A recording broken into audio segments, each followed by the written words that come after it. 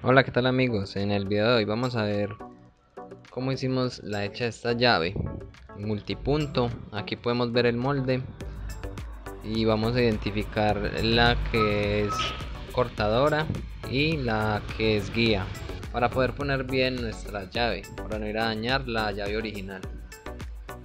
Siempre tener muy en cuenta esto y ubicar bien las pestañas. Estos dados en ocasiones son delicados de esta máquina ya que al ser muy precisos en ocasiones la presión hace que la llave se salga. Pero bueno aquí ya tenemos nuestra cortadora que es de 95 grados. Y vamos a ir palpando poco a poco cada cada orificio esta llave tiene unas claves demasiado profundas.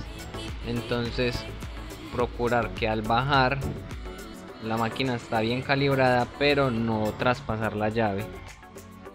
Entonces hay que solo asentarla y no hacerle demasiada fuerza debido a que puede pasar la llave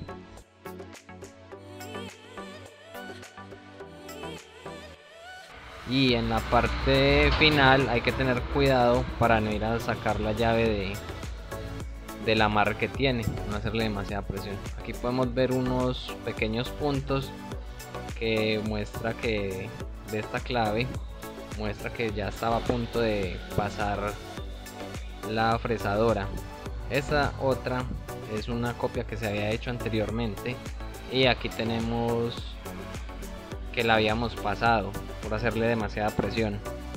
Y esta es la llave que nos trajeron.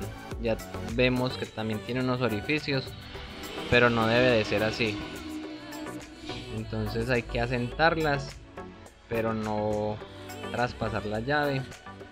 Igual de igual forma estas las llaves siempre traen un poco de tolerancia. Entonces para que lo tengan en cuenta. Espero que sea de utilidad. No olvides suscribirte al canal si no te has suscrito. Regálanos tu like y nos vemos en un próximo video.